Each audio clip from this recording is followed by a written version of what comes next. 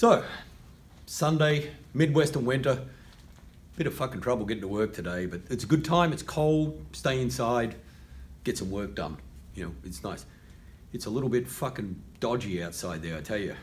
So next weekend, uh, on Friday, I'll be at the Chicago IMS with uh, uh, the Guzzi V9, and then on Saturday, I'll be at uh, the One Show in Portland, which should be fun, doing a behind the build thing moderated by Miguel Galluzzi. But I'm looking forward to meeting him finally.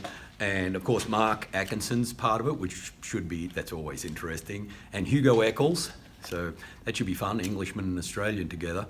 And uh, also Alex Earle, who I've looked at, he's, this guy does some good work. So we're doing this behind the build thing for Rabbit Rizoma.